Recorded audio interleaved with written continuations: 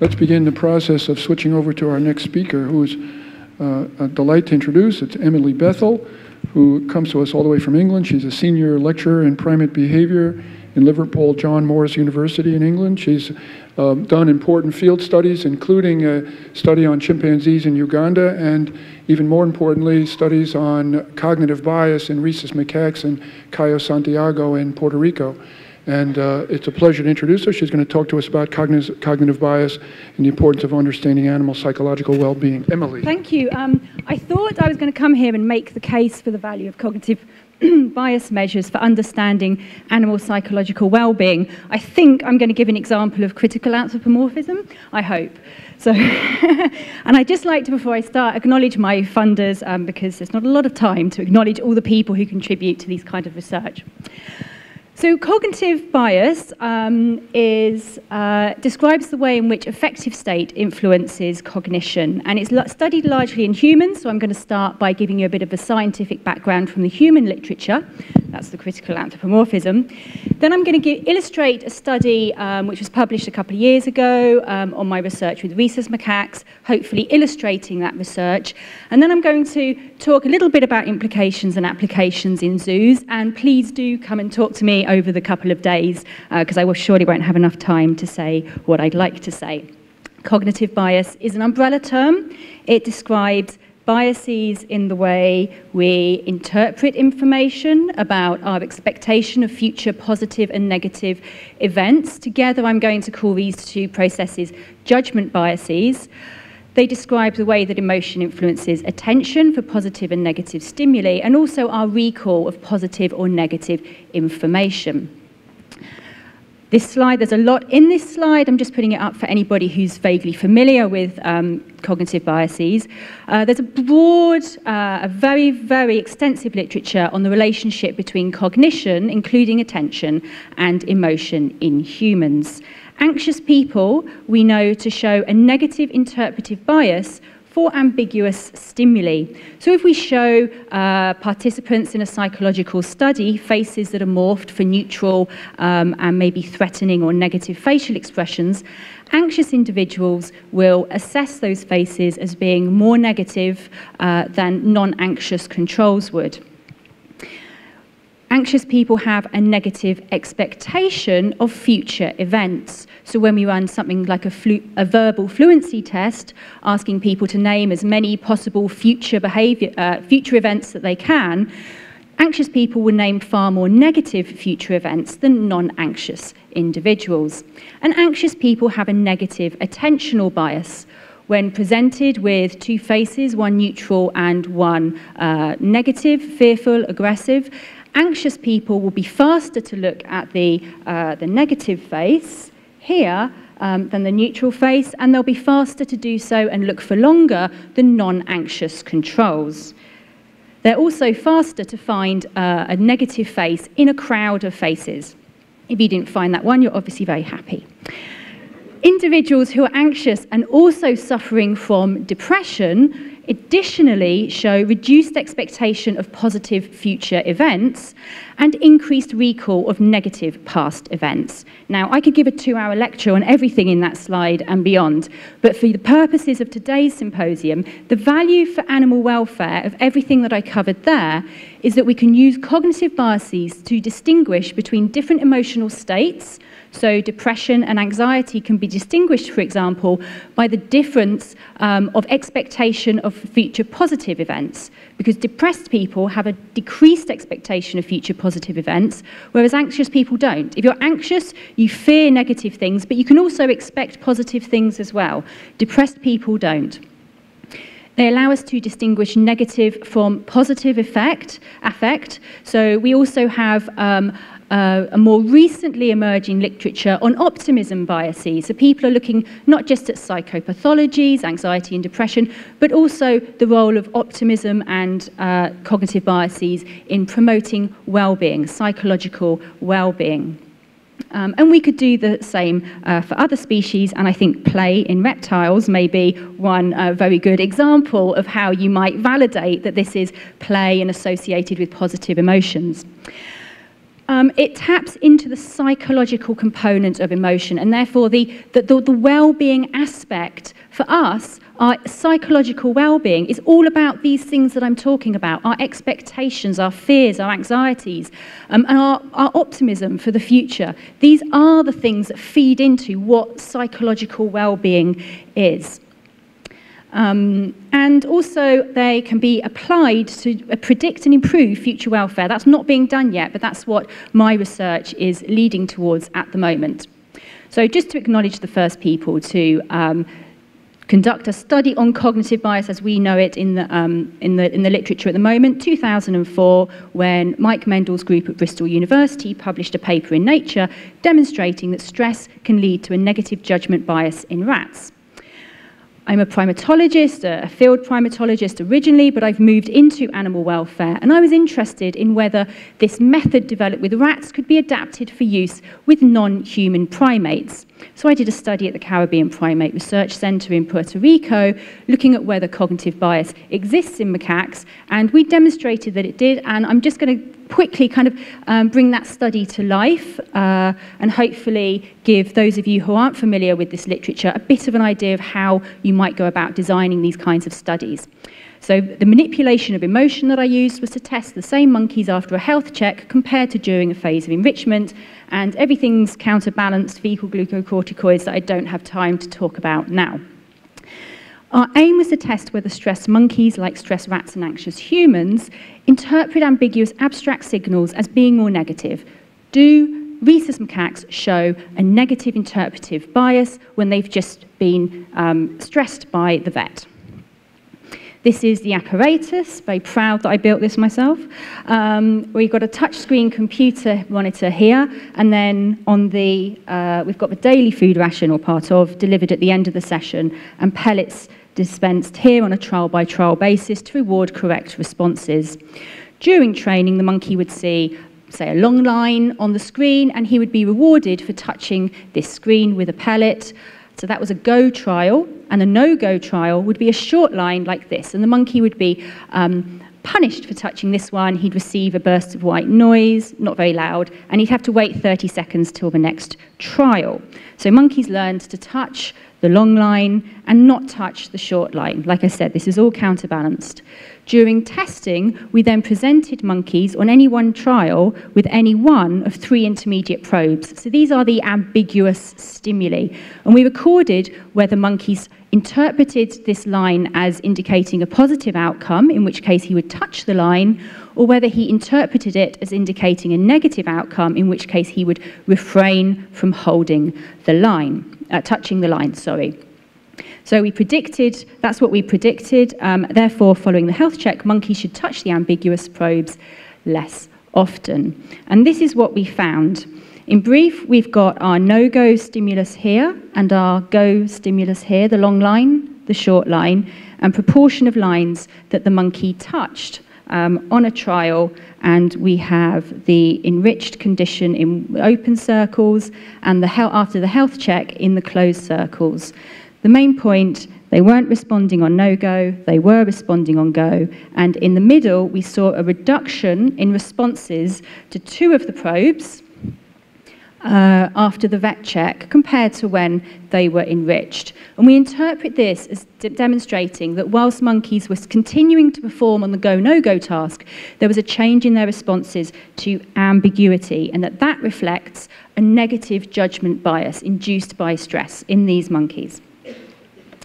Okay, so since then, there's been uh, a growth of studies, a, a, an explosion. 10 years since that first study, uh, people have been looking for cognitive biases in a number of lab species, uh, insects, oh, here we go, insects, uh, starlings, rats, mice. We've got a paper uh, in review at the moment looking at laboratory hamsters, pet dogs, um, and another field of growth has been the exploration of cognitive biases in farm animals, so in agriculture. And again, demonstrating these uh, judgment biases in these, uh, in these groups of animals. For exotics, however, and zoo species, uh, we have yet to really start exploring those. We've got um, my work on rhesus macaques, although they were lab macaques. Uh, there's a study on capuchin monkeys. There's one on bears, grizzly bears. Uh, but I really think now's the time for zoos and uh, for zoos to start looking at cognitive biases and also to extend the range, range of species. Reptiles are clearly missing from um, this list. Uh, there's also a number of issues with the design of these studies, so if you are interested, um, do please come and talk to me. I've got loads of time left. I went very quickly. Um, I have uh, uh, I have lots of thoughts about the way these studies are designed and the way they're conducted. And I think there are some, uh, some very definite problems. Uh, there's definitely these judgment bias effects are there, but I think people tend to jump on the bandwagon and there's a new term and everyone goes, oh, look, we've, we've searched for cognitive bias and we found it. Um, not one of these papers uses the same uh, statistical analyses. Uh, a lot of the statistics, including the ones I put up earlier, which I'm quite embarrassed about, but they're published now, so I have to go with them. Um, my statistics got better, by the way. Uh, we need to be more rigorous in the way we conduct these studies. And I think it's brilliant that the, the zoo world is interested in doing this kind of research because I think um, it's having these kinds of coordinated efforts and really planning from the beginning how to do this effectively um, means you could kind of very quickly do a lot of very good, useful research over the next few years. So, implications and applications in zoos. Well, those cognitive bias tests take training, they take a lot of time, a lot of input, um, and uh, they need a lot of controls included to make sure that you really are testing what it is that you think you're testing. What I'm working on at the moment is developing quicker tests. Uh, so I'm looking at attentional biases. Um, I don't have time to talk about those now, but in brief, I'm looking at attention towards biologically relevant stimuli. I use simple tools. So this is some work I'm currently doing um, on Cayo Santiago in Puerto Rico with free-ranging macaques. And they will just sit there. You can go up to them. You can show them images. You can run these tests with free-ranging um, animals that are well habituated. Uh, so these kinds of tests are perfect for working, say, in a kind of captive social housing condition where your animals are well habituated. And I'm also working on a grant with the Medical Research Council and the NC3Rs, the National Centre for the Replacement, Refinement and Reduction of Animals in Research in the UK, on an exciting project developing eye tracking technologies for use with laboratory macaques used in research. So there's some really kind of exciting new developments on their way. I triangulate these with physiological and genetic markers of stress, um, as you've probably guessed, these can be applied not just to um, measure stress in animals at this moment in time, but they also have value for predicting and reducing, importantly, vulnerability to stress in the future. And I'd be really happy to talk to anybody because um, that's the real value of these measures, not as as far as I'm concerned, it's not about measuring is this animal at this moment happy. Cognitive bias measures as they exist at the moment are a point of principle. Um, but what I'm really excited about is their value to be applied to predict the likely psychological response of animal to future stressors that they might not have ex um, experienced before, to identify what might be a future stressor for that animal, and therefore to take preventative action, um, as well as reducing vulnerability to those future stressors by using certain kinds of training paradigms. And finally, just anecdotally, the veterinary and care staff at the primate breeding centre in the UK, where I've been doing this research, have reported that the animals that they've been working with have really responded well to this, and certainly animals that have been passed on to research institutions have reported back very favourably on these animals. So although this is really early days for these future advances, we definitely have some very positive um, signals and information coming back. And just to finish, to um, acknowledge just some of the people that have um, contributed to this work along the way. And thank you very much for your attention.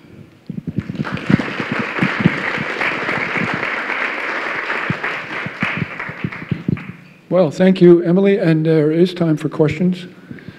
Uh, maybe I'll ask the first question, if you don't mind. Um, when you uh, introduced this topic, you talked about humans and individual difference in humans, but when you talked about the monkeys, they were the same monkeys under different conditions, correct? Were, were there personality differences in your monkeys? That's a really interesting question because in um, in my paper, I show that although there was an overall effect, what we found were um, a great deal of variation between the monkeys after the health check. And I think what this, or in one of the conditions, I forget now, um, but there was a great deal of variation between the animals. And I'm now looking at possible genetic um, and early life effects um, and the role of other factors in determining these individual differences. But I would absolutely expect there to be, in a species like um, the rhesus macaque, there to be large individual differences.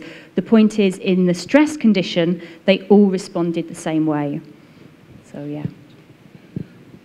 Questions?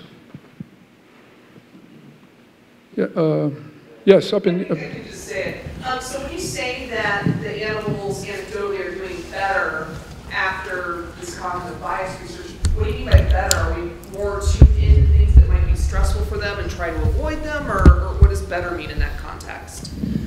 Well, there's several things. I don't know because I don't have direct contact with the facilities where they go to because um, it's very difficult to just chat about animals in these kinds of situations. It's often, um, I think, I think there's a general training effect. So the fact that these animals are just being worked with. Um, possibly a, a better example is the feedback from the care staff who feel by doing this work they get a better feel for the psychology, the personality of individual animals. So an animal may appear to be shy because they're low ranking in the group, but actually when you get to work with that animal, you'll be surprised at how bold and how bold that animal is and exactly what they are interested in that you wouldn't necessarily get just from watching them in the social group. And, my, and this research is very much about working with animals in their social setting and causing minimal disruption to the social kind of setting of those animals. Yeah, thanks. Any other questions? So um, uh, we actually I, we, are ahead of schedule suddenly, so we have time. So think think of things. But let me let me ask another one. Which have you um, you you've have, can you give us any insights about how this might play out in zoos? It would be speculative on your part, but uh, do you have in mind uh, like a zoo setting where cognitive bias might be steered more positively or negatively? I don't know, one of the things that we're looking at, I was hoping you would tell me, I'm not a zoo researcher, um, but what we find is, for example, in uh, hugely stressful life events like transfer to a new facility, for example, um, using the kinds of training paradigms that I haven't talked about, but I think this could go towards. You could, for animals that are at high risk, um, engage some of these training paradigms uh, before transfer to maybe reduce stress response during the, the, the transfer process. Um, but really, it would be for the zoo community to identify if this would be any useful to you. I mean, it's, a, it's, an excellent application. The, uh, idea is if we have a medical exam, we're destined to having a bad day for the rest of the day or seeing the day more darkly. If there was a way to alleviate that in some way, uh, to absolutely. Well, it will allow you to identify individuals that are affected and those that aren't, that might not be visible just from behavioural responses alone. As we know, a lot of a lot of kind of behavioral behaviors associated with stress are actually indicative of coping mechanisms. So um, the, this would get at animals that possibly are suffering mentally that you might not pick up on that um, from behavioural measures. But uh, you know, the veterinary inspection, I think, is a really key point because when animals are ill, who goes in there? The vet. And what's the most stressful thing that can happen to an animal?